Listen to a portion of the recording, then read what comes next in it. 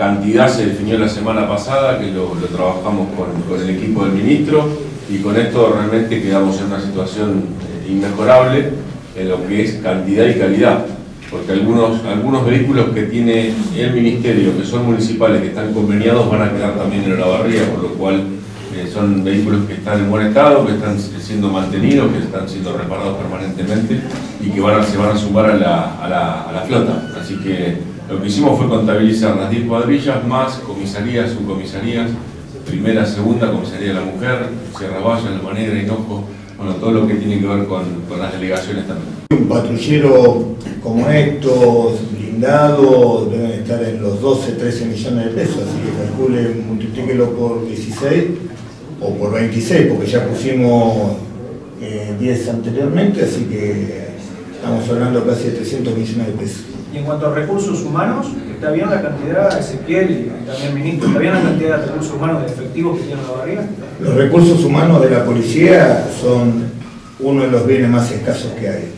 Eh, la policía de la provincia tiene un déficit de más del 100% de, la,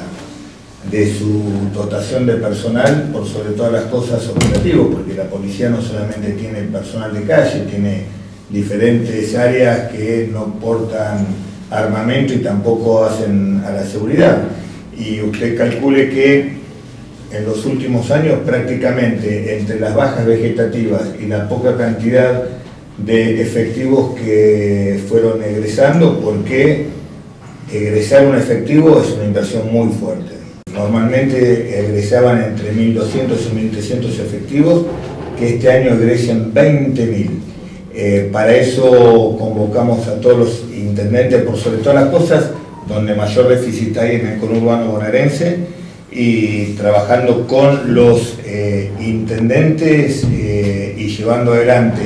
un examen no solamente físico, sino psicológico exhaustivo para ir mejorando el perfil de nuestros hombres y mujeres, ni siquiera se pudo llegar a cumplir la mitad de los efectivos. Hoy están igualmente cursando 6.000 hombres y mujeres que van a egresar en marzo del año que viene. Recursos humanos siempre es escaso, nosotros venimos trabajando desde que me tocó asumir hasta la fecha en, intentar cambiar la cantidad de cuadrillas, tenemos 10 cuadrillas, queremos pasar a tener 15 para que el patrullaje sea de mayor frecuencia y la limitante es el recurso humano, faltan por lo menos para pasar el sistema de 15 cuadrillas 30 efectivos más ese delito que parecía que todos los días subía y que no tenía techo,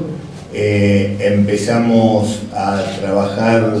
no solamente bajándolo, sino eh, mejorando por sobre todas las cosas lo que tiene que ver con la prevención del delito prevenible.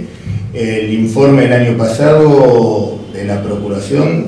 eh, demostró, como dije recién, que el el año 2021 fue el mejor año de los últimos 25 años en materia de, estadística. Y en lo que venimos registrando este año comparado con el año pasado va a ser seguramente mejor todavía que el, que el 2021. Eso no significa que el problema está solucionado, esto es como un paciente que está en terapia intensiva, estaba en terapia intensiva, eh, estamos aplicando un tratamiento, ese tratamiento está mejorando el paciente, pero es un problema este, de complejo y de larga definición, pero lo importante es que hay un gobierno que entiende y que por sobre todas las cosas eh, hace el esfuerzo que hay que hacer para revertir esta situación que parecía que no tenía forma de revertirse en la provincia de Buenos Aires. Eso está muy encaminado, me parece que todo lo que habíamos eh, opinado desde el primer momento se fue dando, que no era un grupito suelto, después apareció que había toda una organización atrás, decíamos que atrás de esa organización no había que profundizar la financiación y empezaron a aparecer las puntas de aquellos que financiaban esta suerte de organizaciones que tenían como finalidad esto, ¿no? generar un malestar y que de pronto terminaron cometiendo este acto delictivo. Así que seguramente eh, eso lo, lleva adelante una, una jueza federal y que la jueza federal me parece todavía tiene mucho para investigar para adelante. Quedó demostrado que lamentablemente fue un, suicidio y me parece que hay un, este, usted sabe que la primera, la primera autopsia había dicho que eh, justamente que había sido un suicidio, eh, después por diferentes presiones se hizo una segunda autopsia, en esa autopsia de manera premeditada eh, informa que no, no, se, no, no estaba presente eh, el surco de horcadura. No estaba presente porque lo habían sacado como se hace en la primera autopsia y con eso justificaron para decir que había elementos que comprometían a la policía. Después obviamente se hizo la autopsia eh, que dio el mismo resultado de la primera y por lo tanto me parece que están eh, bajo investigación los que hicieron la segunda autopsia de manera deliberada que no han han este, informado lo que tenían que informar. ¿Los efectivos están trabajando otra vez? Eh, todavía sí, por, ah. preservarlos están, pero por una cuestión de preservar su,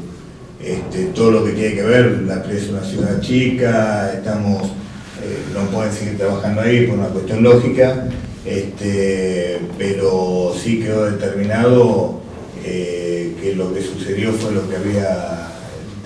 terminado la primera autopsia. ¿Sigue intervenida esa comisaría? Sí, todavía sigue intervenida por, este, y seguramente se va a regularizar en el término de los próximos días. Una discusión que tiene varias aristas, porque tiene por un lado la discusión desde el punto de vista legislativo. Nosotros estamos en una situación muy compleja en términos económicos, el país está en una situación compleja, producto de, desde nuestro punto de vista, de, de una estructura económica que tuvo que asumir este, este gobierno cuando asumió la responsabilidad de dirigir institucionalmente el país, como era la responsabilidad de asumir una deuda muy compleja, a eso se le sumó la situación de una pandemia que agravó aún la, situación económica, no solamente nacional, sino internacional, y que estamos en plena discusión en función de a, dónde se, se, se tienen que dirigir los recursos del Estado, del Estado nacional y provincial. Y sabemos que afrontar una primaria abierta, simultánea y obligatoria implica la inversión de muchísimos recursos de todos los argentinos, de todos los bonaerenses, y que es un gasto importante una inversión importante